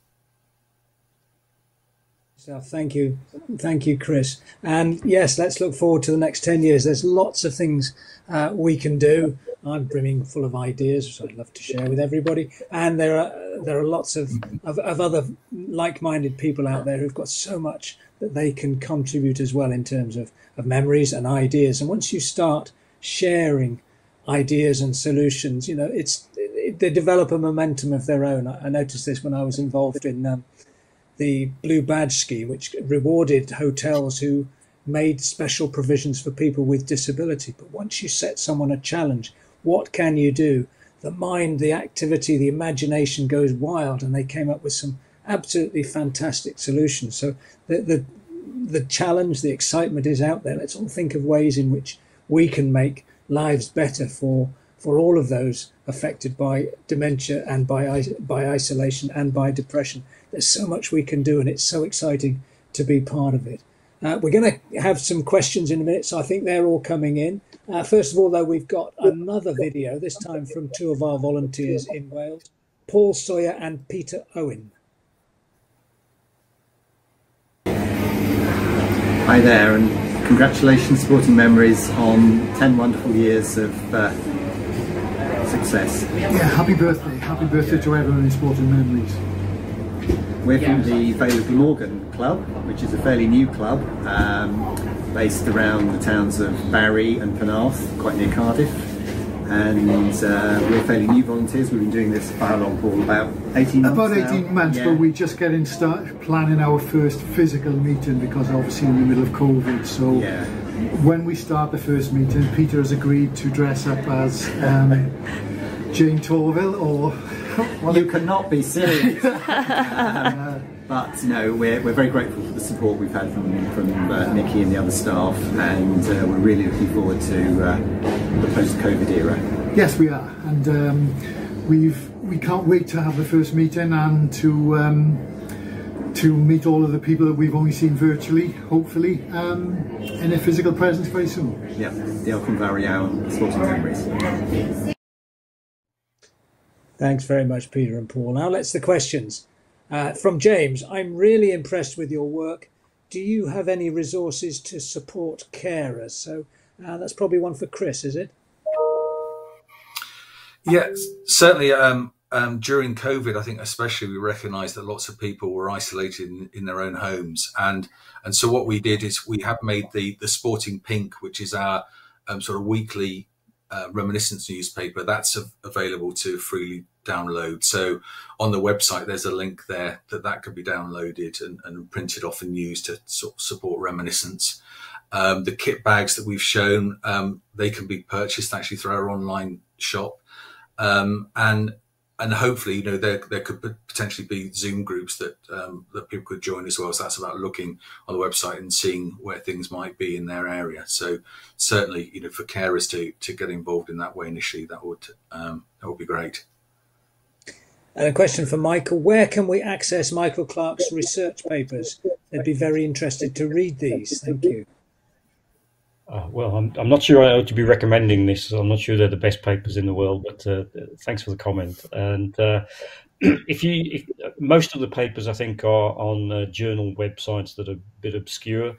Uh, but if you if you Google my name and LSE, London School of Economics, you, you should be able to find a, a profile of me on there that I think has has copies of those papers on that profile and, and some of the stuff that I've done. But uh, it, don't blame me when you start to read them. Fantastic. The kit bag project sounds really great. This is another anonymous question. Is it more widely available now?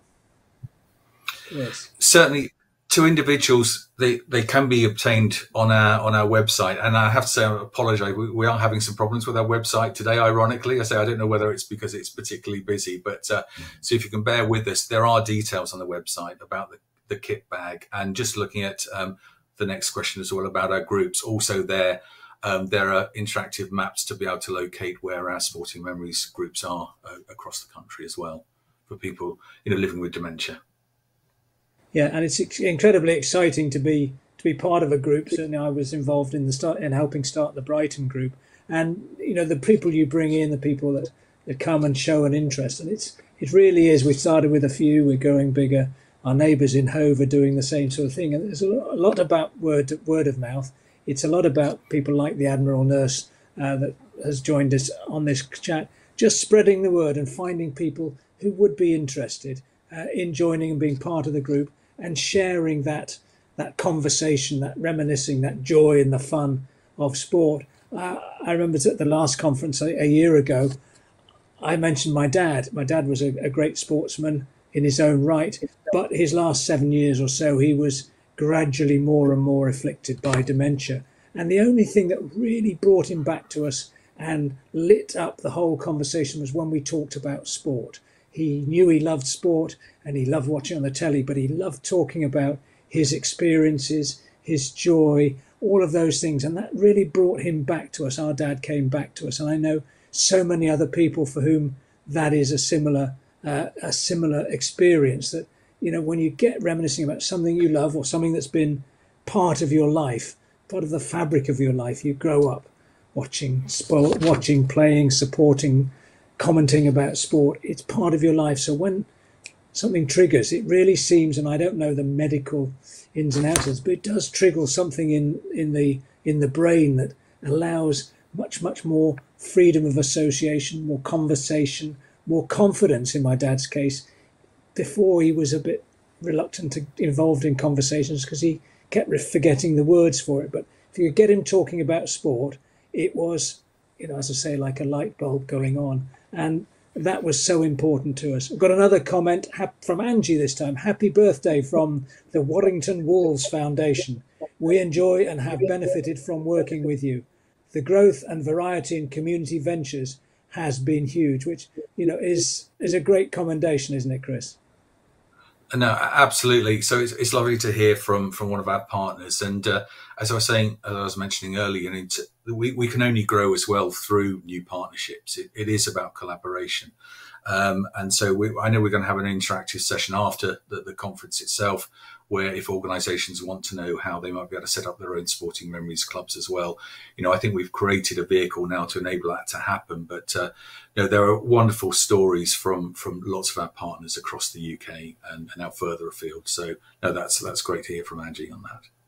Yes, thank you for reminding me. There, there is a breakout uh, networking session after this conference is over. We're going to finish about 12 o'clock, and then at about quarter past, we're going to open up again. And those people particularly interested in how we can spread the message, particularly to people who are either isolated or uh, can't get, can't access the, the groups themselves, or, or the, these ethnic minorities that we were talking about earlier. So that's that's an important thing if you're interested in that. The, the conference workshop should start at about quarter past. We're coming towards the end of the project of the conference now, so let's have a bit more fun with the word cloud.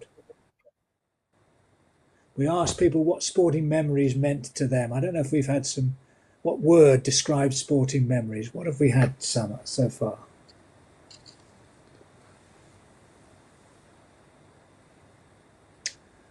Well, what does it mean to you? Um, what do sporting memories mean to me? Joy, community, inspirational. Those words come up, certainly.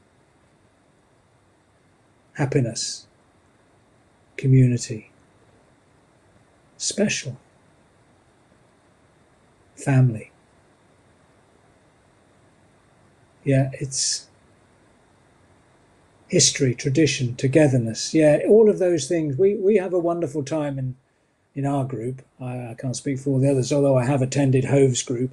Um, just chatting, just remember, and things spark off from each other. Togetherness, uh, sharing, all of those things. You know, it's a it's a wonderful environment to be in where you can listen to somebody else, and that gives you a memory, and that talks about something else, and and reminds you of things you'd forgotten about, uh, and it sparks off on something else. It's a really wonderful thing, the noise and the energy as mentioned there.